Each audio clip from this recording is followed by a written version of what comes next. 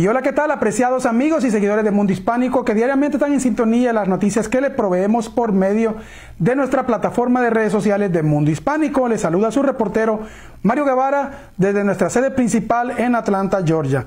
Hoy, como siempre, noticias interesantes que contar, pero no siempre son buenas cosas. Hoy, por ejemplo, quiero hablarles del caso de un sujeto de origen hispano que está en la lista de los más buscados por las autoridades de Florida.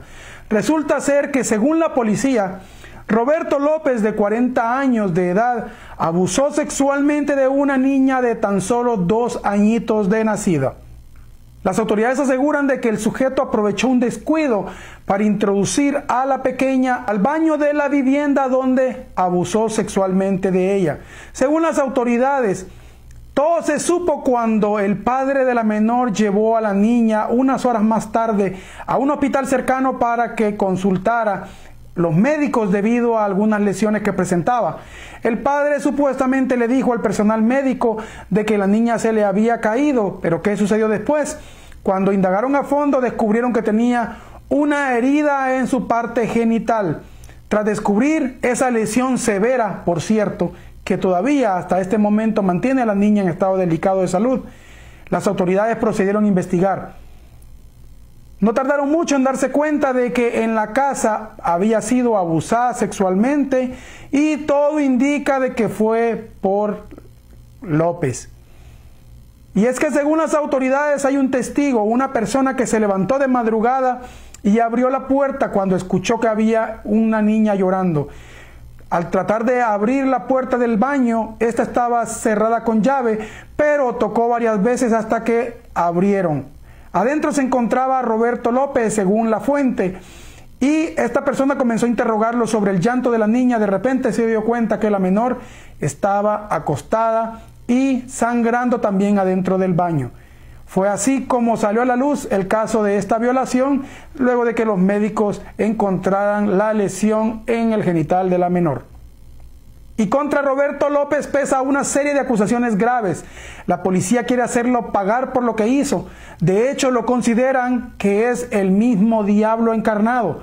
El alguacil de la localidad en Florida donde ocurrió este incidente lo calificó también como de un animal cruel debido a la brutalidad con que trató a la niña, ya que supuestamente también la golpeó severamente durante el abuso sexual que lo cometía.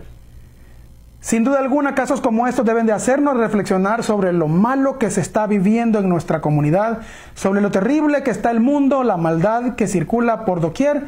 Y bueno, nosotros como padres debemos de estar alerta todo el tiempo.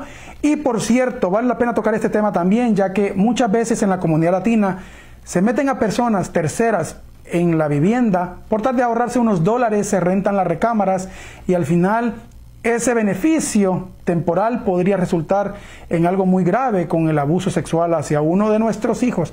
Es muy importante reconocer también de que la mayoría de abusos sexuales dentro del hogar ocurren por personas allegadas, ya sea primos, tíos, abuelos, padrastros o incluso hasta los mismos padres biológicos, cuanto más un desconocido o una persona que se le dé lugar en la vivienda. Así es que es muy importante tomar esto en cuenta.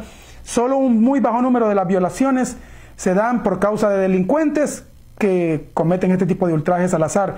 En la mayoría de los casos está comprobado científicamente de que son personas allegadas a la víctima. Triste historia.